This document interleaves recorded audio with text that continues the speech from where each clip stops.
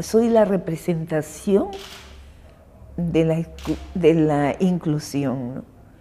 O sea, yo soy una artista que ha tenido que luchar muchísimo para tener el lugar que tengo y este lugar que tengo es a nivel mundial, ganado con puro trabajo. Eh, sin las garantías de yo no odio a la gente que nos que nos segregó, que nos, que nos castigó, que nos, que nos dañó, solamente que no quisiera que un niño más en nuestro país sienta lo que yo sentí de niña.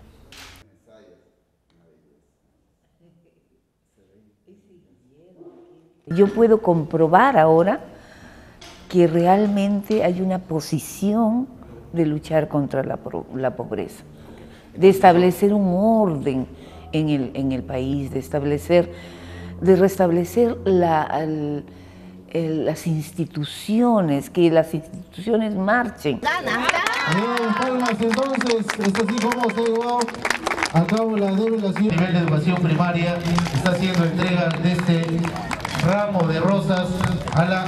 Hoy día mi compañero y yo vamos a dedicarle una décima a Doña